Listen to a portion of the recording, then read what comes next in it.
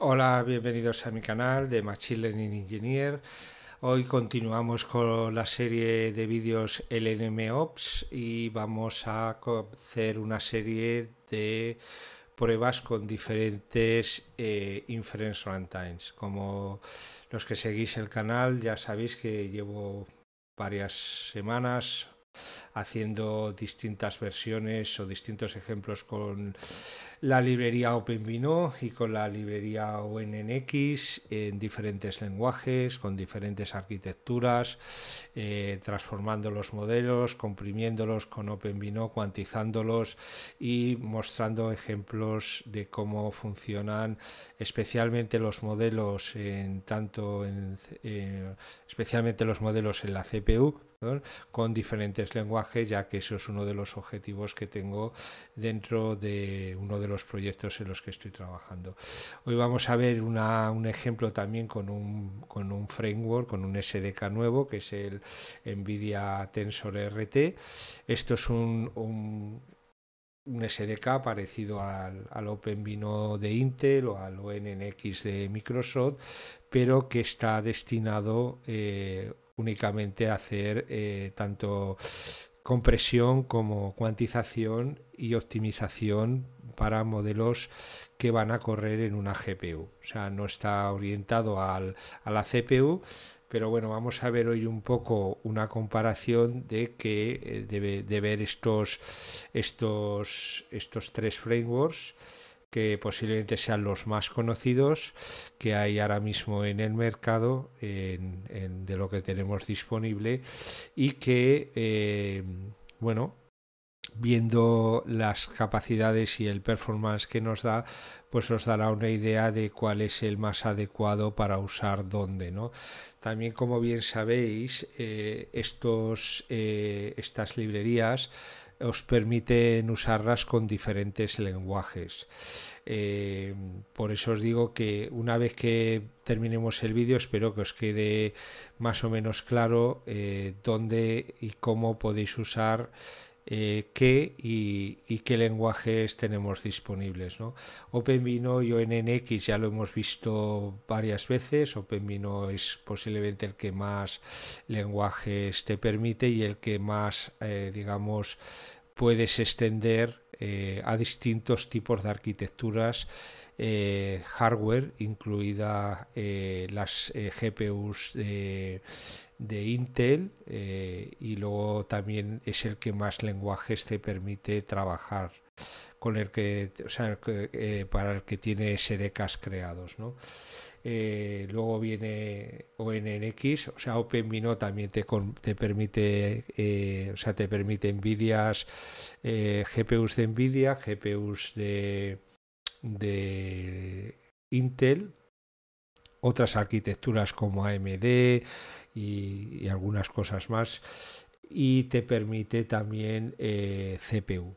ONX es similar, eh, te permite estas tres, digamos, eh, principales runtimes de ejecución, aunque os digo, permiten otros muchos más, sobre todo para temas que puedan ser, por ejemplo, dispositivos móviles o, o embebidos, todo este tipo de sitios donde bueno son sistemas bastante particulares a lo, que hay que utilizar eh, eh, librerías bastante particulares.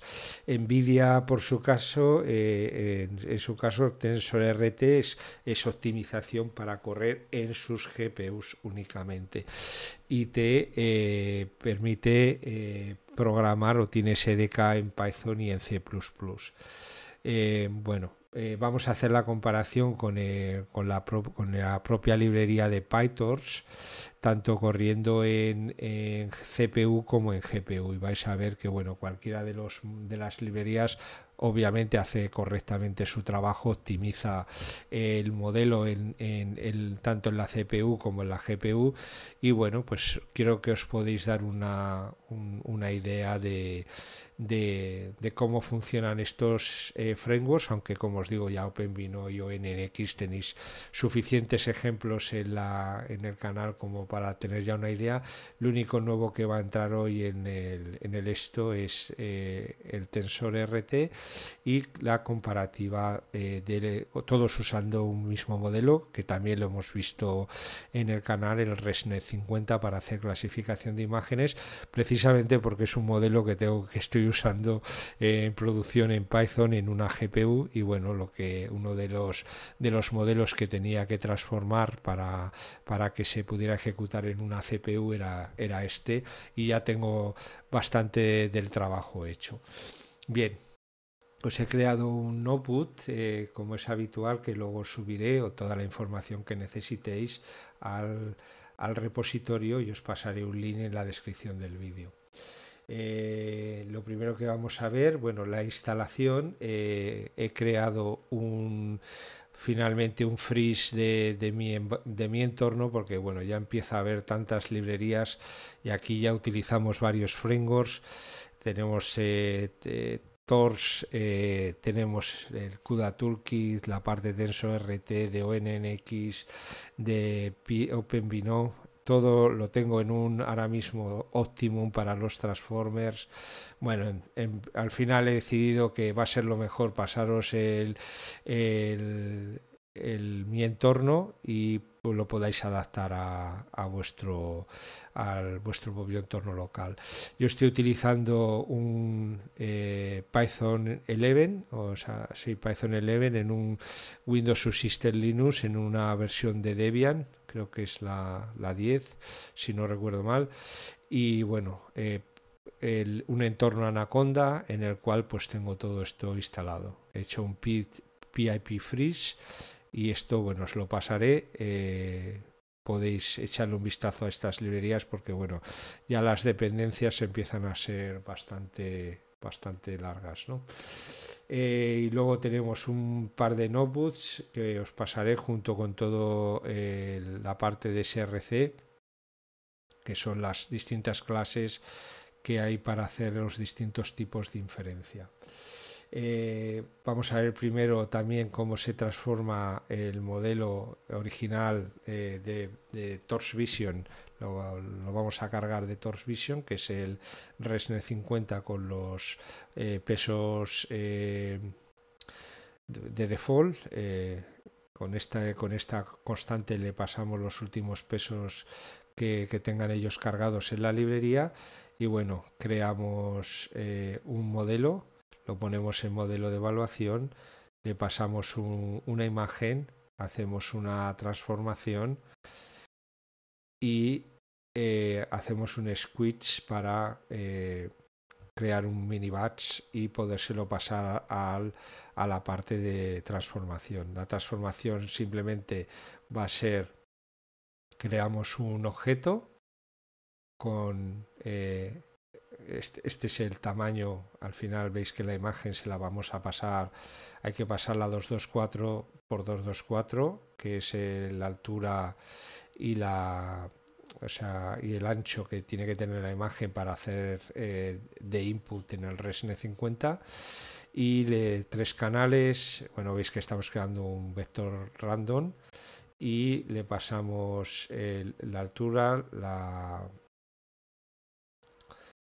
eh, la altura, la anchura y el y a ver si lo digo y requiere eh, este parámetro que requiere los gradientes.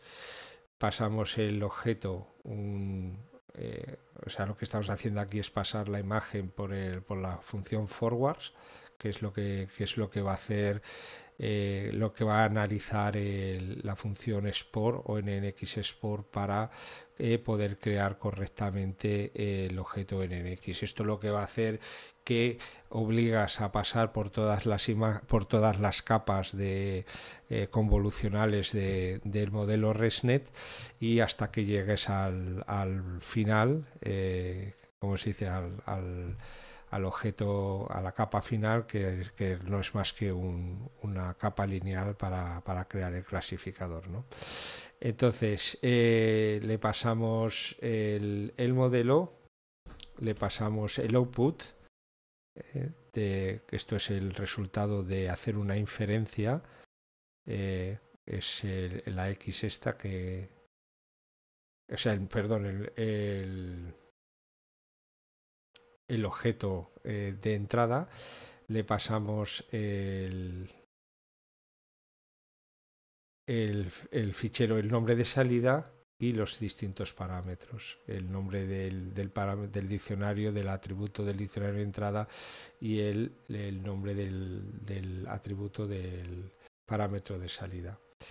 El, el offset, eh, yo he utilizado un 12, eh, recordar que este offset va a depender de la, de la versión de PyTorch que tengáis instalada y poco más, es tan simple como eso. Una vez que, que que tengáis el, el ONNX, aquí ya hemos acabado. Aquí, como veréis, he hecho una serie de cosas, pero esto es para el, el proyecto que estoy haciendo, que bueno, lo dicho, estoy solo comprobando distintas, distintas imágenes que luego os las pasaré para que, bueno, comprobar de que el modelo está funcionando correctamente. Como veis aquí, creo una sesión en, en, en CPU y, y bueno, utilizando las las clases, las clases que vienen del o sea, son las clases con las que fue entrenado el ResNet 50, que es con el dataset eh, ResNet y mil clases.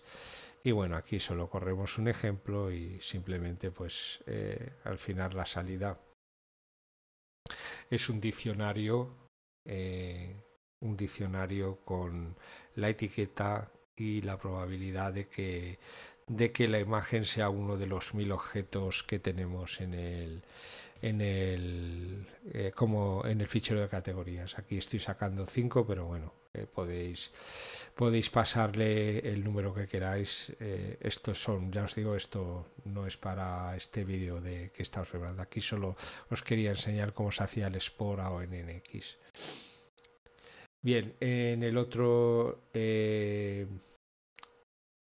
notebook. Vamos a hacer cinco comprobaciones. Lo dicho, vamos a utilizar en todos una ResNet 50. Entonces vamos a hacer inferencia en la CPU y con PyTorch directamente, en la CPU y en la GPU. Luego haremos con el Tensor RT en la GPU también con Floating Point 32 y Floating Point 36. Aquí os paso un par de, de links que os explican cómo hacer todo esto.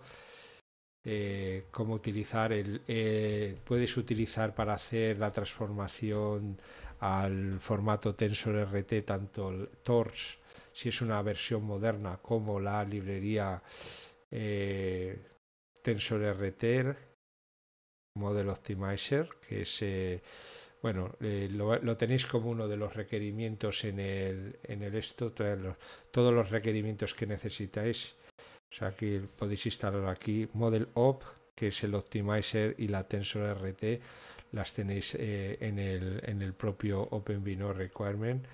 Eh,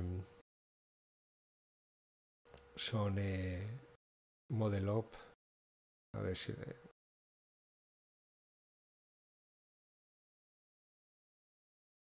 ¿Dónde estás, campeón? Sí, aquí tienes toda la de Nvidia. Aquí tenéis Model Op y luego tensor RT eh, que debe estar por aquí exactamente. Ya lo veis aquí tensor RT que con todo la parte de el, base y luego las partes para el CUDA 12 como os digo eh, yo tengo un, un CUDA Toolkit 12.4 eh, y el PyTorch si no me recuerdo más, y el 240, pero esto eh, está con soporte CUDA y luego como veis aquí Torch Tensor RT que también es un módulo que se necesita para eh, que funcione la exportación.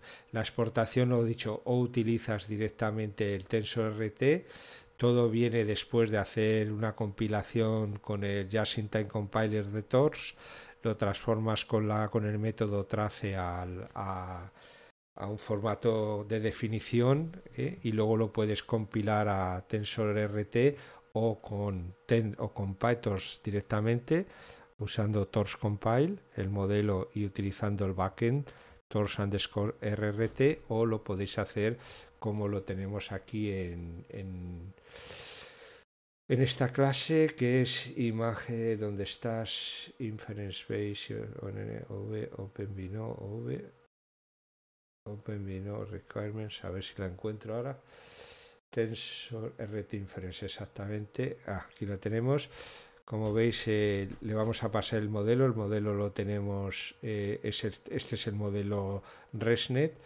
Lo puedes pasas por el GIT, el Just in Time Compile, Compiler. O sea, lo conviertes a un Torse Scripts y luego para... Eh, a ver si lo digo. Eh, lo conviertes con la, en este caso lo vamos a convertir directamente con la tors eh, tensorrt.compile. Con el método compile de la librería tors tensorrt. Tors tensorrt. Y como veis, bueno, es bastante similar a cómo se haría si utilizas la, la de aquí. Es exactamente lo mismo. Vaya. Bien, eh, volvamos al, al, al notebook. Bien, eh, os paso una serie de, de, links que los vais a, bueno, pues para que os pongáis en contexto de todo lo que vamos a utilizar aquí. TensorRT vamos a utilizar, como os digo, Floating Point 32, Floating Point 16 en GPU.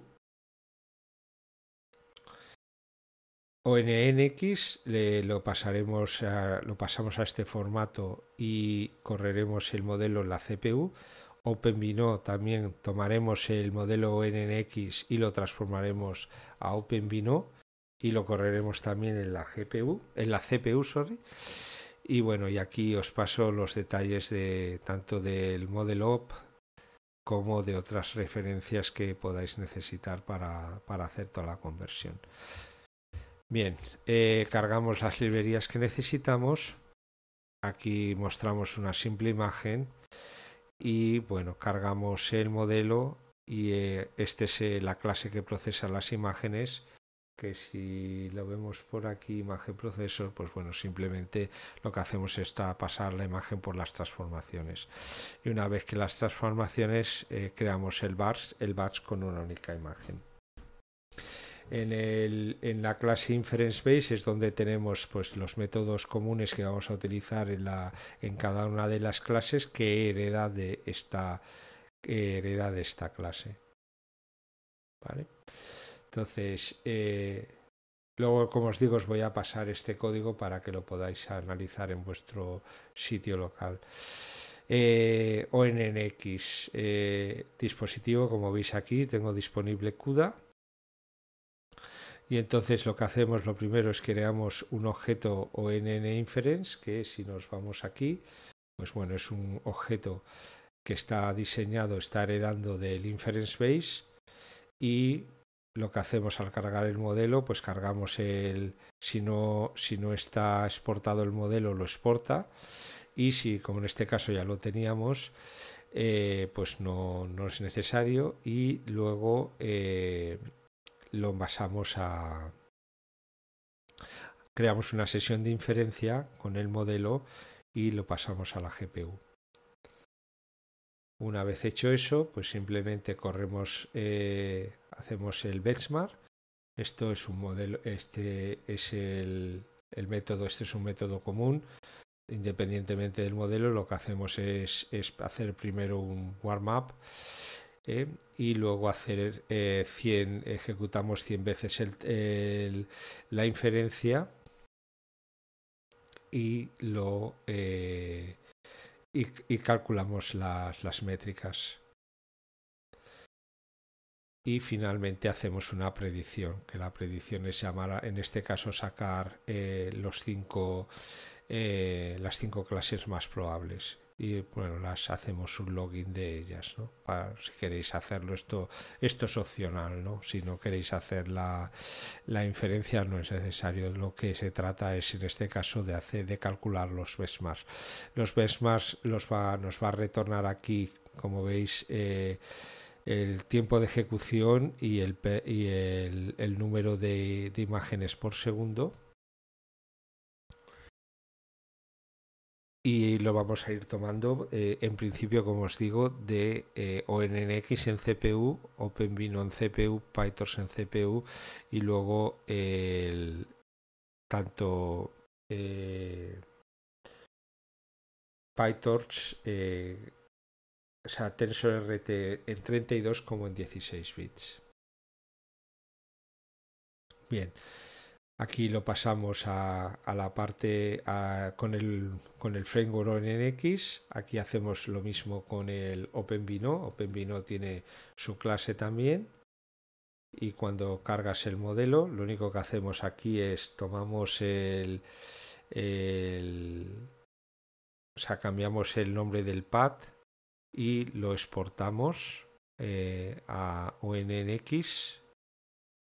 O sea, perdón, si no existe el modelo, lo, lo esto si no existe, si avise, si solo queréis ejecutar el, el, el OpenVINO, tenéis que tener creado el, el modelo ONNX, si no lo tenéis creado, os lo creará, porque lo que hace esencialmente es tomar el, toma el, el modelo eh, toma el modelo eh, el modelo ONNX y lo convierte a OpenVINO directamente. ¿De acuerdo? Como veis aquí se está tomando, como bien sabéis, OpenMino puede también puede transformar directamente de PyTorch, puede transformar de, ONNX, puede transformar desde TensorFlow. Aquí estamos transformando desde ONNX al formato OpenMino. Bien, eh, una vez que tenemos hecho eso, pues bueno, el proceso es exactamente el mismo, va a correr las 100 veces la inferencia y eh, va a calcular el throughput y aquí pues lo mismo estamos eh, pasándolo a predit y podemos comparar. Bueno pues no cambia en absoluto la, las, las, clases ni los porcentajes. Bueno también es cierto de que el porcentaje no tiene no tiene eh, es un simple número integer que no, no, no tiene decimales ¿no? PyTorch CPU, eh, si nos vamos al... Esto es otra clase. Eh, PyTorch Inference y bueno, esto es simplemente hacer predicción con el, con el propio, con la propia librería PyTorch. Eh, en el caso, en este caso, como veis, le pasamos la CPU y en el caso de que no le pases nada, directamente lo mueve al dispositivo a la. Aquí lo estamos pasando a la GPU ya que la GPU es el dispositivo que hemos cargado en esta, en esta línea de aquí. Y luego viene TensorRT, el cual eh, lo primero que vamos a hacer son dos precisiones. Tensor RT Inference la última clase que tenemos y como veis simplemente como se explicaba antes el modelo tomamos el modelo original el, el que nos viene de Torch Vision lo pasamos por el Jazz, eh, o sea, lo convertimos a Script y luego lo convertimos a eh, TensorRT con la propia librería Tors TensorRT. Una vez hecho eso, pues bueno, vamos a hacer dos pruebas, una con el Float 36 y otra con el Float 32 y bueno, en principio el resto es exactamente lo mismo. Y lo mismo que antes pues eh, las eh, las clases no han cambiado no deberían de cambiar sino un problema grande tenemos. Pueden cambiar los decimales es cierto que especialmente los modelos aquí no estamos haciendo cuantización en OpenVINO solo estamos haciendo compresión y en ONNX tampoco estamos haciendo eh, cuantización, estamos simplemente transformando al formato en NX, no nos hace cuantización. Sin embargo, con el TensorRT vamos a probar en dos, en dos eh, tipos de datos. Ambos, eh, eh, lo dicho, en la GPU. Una vez, una vez terminados tomamos eh, los resultados y bueno, creamos aquí una función para visualizar y aquí tenemos el... Que no sé es por qué no me sale aquí, quizás tenga que, que volver a ejecutar un segundo. Bien, eh, ya terminado, se, había un pequeño bug, lo he solucionado y bueno, una vez que termina eh, la, el benchmark en, las dos opciones, tanto FLOAT 16 como FLOAT 32, pues vamos a imprimir los resultados y como veis aquí pues tenemos por un lado el tiempo de inferencia y luego el throughput, el número de, sample, número de ejemplos por segundos y el tiempo de inferencias. Como es obvio, eh, lo mejor eh, es eh, lo que corre en GPU, obviamente. Una vez que, como, como, bien sabéis, estamos haciendo 100 imágenes, ¿no? Todo pasa en... Es un batch de, de 100 de 100 imágenes, aunque sea la misma, pero bueno, nos da lo mismo. Eh, ya tenemos el modelo y la, y, la, y la imagen en la GPU. Y como veis, eh, pues bueno, eh, la parte de GPU, pues los resultados son los esperables, ¿no? Tenemos TORS eh, con 16 bits, pues tiene un tiempo de inferencia de 3,54, que si lo comparas con el PyTorch directamente, pues está reduciendo prácticamente cuatro veces y media la, la, inferencia. En el caso de Floating Point 32, eh, eh, la diferencia son 5 prácticamente, perdón, 3, prácticamente 3. Eh, tanto PyTorch CUDA como Torch RT eh, en, en, 32 bits se utilizan la misma precisión, en cambio aquí reducimos la precisión a la mitad y la parte de CPU pues los resultados pues también son los esperados. Tanto el, el modelo OpenVINO eh, una vez transformado eh, lo que hacemos es comprimir el modelo. Esto lo que estamos haciendo en este caso es reducir el memory footprint. O sea es un objeto más pequeño el, el, ONNX no tiene compresión, simplemente se transforma al, al, formato, al formato ONNX. Si no recuerdo mal, este modelo tiene un tamaño de 97 megas. En, es prácticamente lo mismo en, en, el formato original. Y lo que sí que estos modelos están optimizados para... Eh, eh, para la ejecución, solo, con la, eh, solo convirtiéndolos a, al formato se optimiza eh, la ejecución en cualquiera de los, de los eh, entornos de ejecución que lo vayáis a correr. ¿no? Entonces, como veis, el modelo original en la CPU pues, nos da un, un tiempo de inferencia de 197 milisegundos por imagen y en cambio en, en se reduce un poquito más de la mitad y este prácticamente eh, esto pueden ser dos veces casi dos veces y media y esto casi tres veces ¿no? que es lo dicho lo esperado eh, son optimizaciones que, que, ya las hemos visto en el canal eh, están ya diseñadas estas librerías tanto transformes eh, para correr en, porque ahora mismo si quisieras correr en, en, CPU o GPU pues simplemente lo tendrías que mover a, ese dispositivo ahora si lo quisiéramos correr cualquiera de estos dos modelos el de OpenVINO o el de ONX en, CP, en GPU simplemente tendrías que cambiarle el entorno de ejecución ya no hay que hacer nada más y luego pues bueno el, lo que es el throughput pues efectivamente va en la misma línea no en lo que pudiera ser. Eh, es comparativo, pues si la inferencia es mayor, obviamente el throughput es menor. Esto es eh, son dos, dos, gráficos antagonistas, si lo, si lo queremos decir de esa manera. Y bueno, poco más eh, os tengo que decir aquí.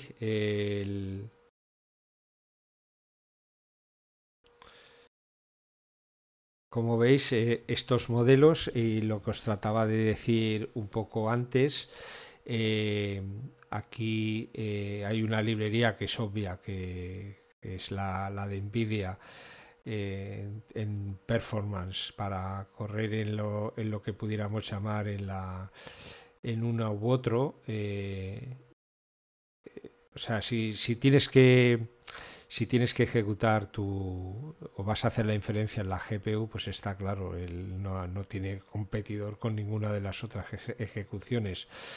Pero si de lo que se trata es de correr un, un modelo en la CPU, pues obviamente yo me decantaría por el, eh, por el OpenVINO. Estás eh, por el OpenVINO por una sencilla razón. Primero porque está siendo más rápido que la, compresión que hace, lo hace más rápido que la, la propia transformación a ONNX. Y luego podemos siempre eh, hacer eh, cuantización, que aquí no estamos haciéndola ni con el OpenVINO ni con el ONNX. Sin embargo, como os digo, si tenéis que correr eh, algo en GPU, pues es obvio que si lo podéis transformar a TensorRT, pues es la mejor opción porque ya veis que la, inferencia se reduce bastante, ¿no? el tiempo de inferencia. Y luego, si tuviera lo mismo, dependiendo de qué, lenguaje vayas a utilizar eh, para hacer la programación de tu, de tu de la aplicación donde vas a hacer esta inferencia, pues bueno, eh, Aquí en, Nvidia, pues creo que tienes, tienes Python y tienes C++. Los dos están disponibles, tanto hay versiones de Python y de C++ para, para las dos librerías, para PyTorch y para eh, TensorRT. O sea que, bueno, Obviamente si tuvieras que hacer algo que tenga que ir muy muy rápido, yo me lo llevaría a C++ a una Nvidia si es que eso es el entorno donde necesitas ejecutarlo. y luego si necesitas cualquier otro de los lenguajes, no necesariamente C++ o Python, pues sigue ganando en este caso OpenVINO.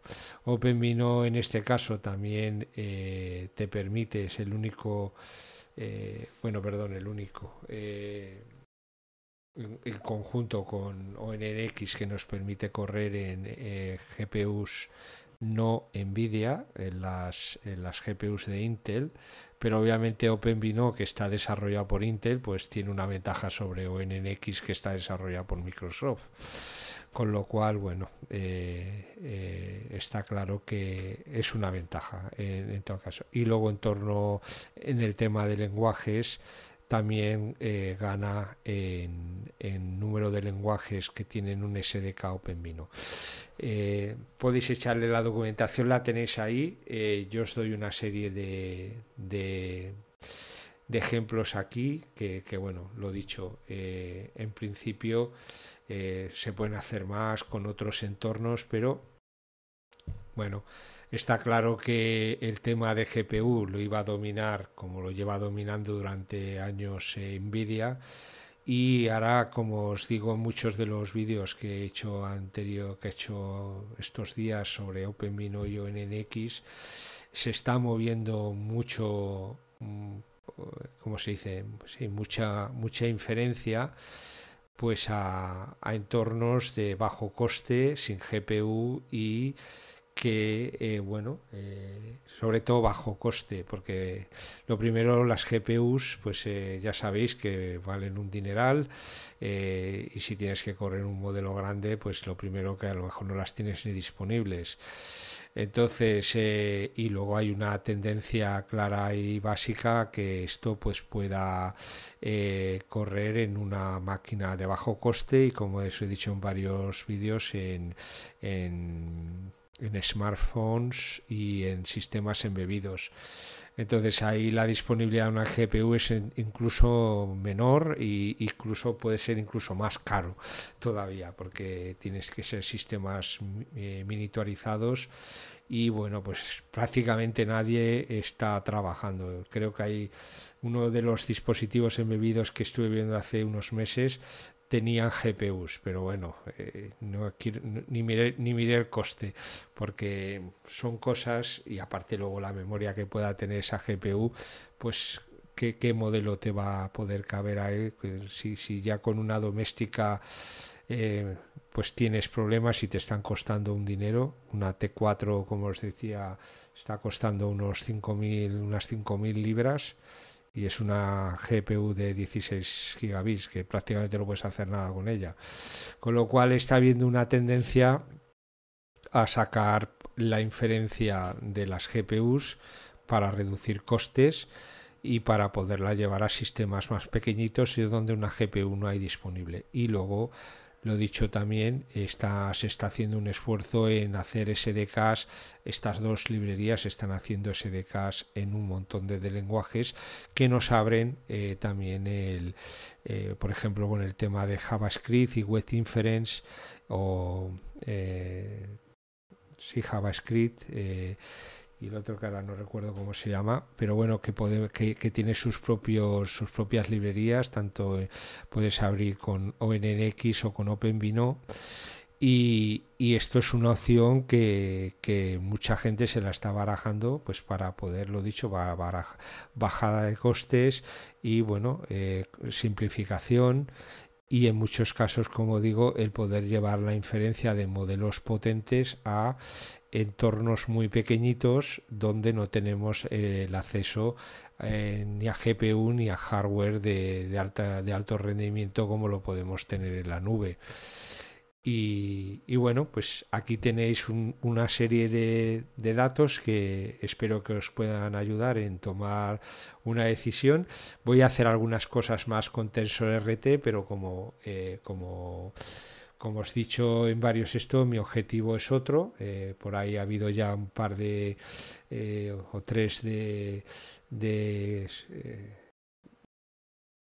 suscriptores del canal que me pidieron que hiciera temas de TensorRT y bueno, al final acaba haciendo, pero como bien sabéis, mi objetivo es, es otro, el, el, llevarme todo, hacer pruebas con los modelos que tengo que, con los que estoy trabajando, probarlos en, entornos de bajo coste y sin GPU y que corran en CPU y para ellos pues es por lo que he estado haciendo todas estas semanas ejemplos eh, con OpenVINO y con ONNX en, en, en, Python y en César, mucho en César porque bueno eh, en, donde estoy ahora involucrado, pues eh, se trabaja mucho en César.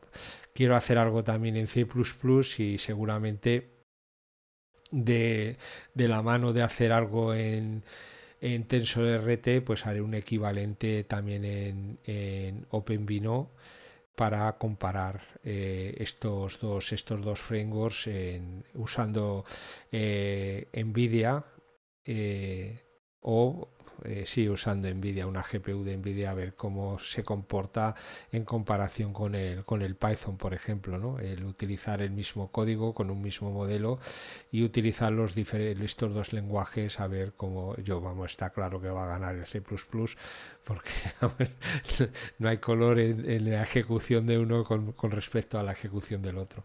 Pero bueno, eh, lo dicho, espero que, os haya dado una, una visión de, de, los, bueno, yo creo que son de los tres, eh, los tres frameworks hoy día más importantes que, que hay eh, para, para, hacer compresión y, optimización, eh, especialmente en la inferencia, y que, bueno, y eso espero que os haya ayudado y, y que os sirva un poco de referencia para si tenéis que tomar un, camino en función de qué herramienta utilizo, ¿no? Como os digo, hay mucho del tema OpenVino y ONX en el canal. Cualquier tema, cualquier duda que tengáis, escribir en los comentarios y esas cosas y si os puedo ayudar, pues os ayudaré. Y ya está, eso es todo. Espero que lo dicho, que os haya servido, que os haya gustado. Si es así, darle un like, suscribiros al canal si no estáis suscritos y em, hacer likes, compartir y todas esas cosas para ayudarme a crecer en YouTube. Venga, un saludo, hasta pronto.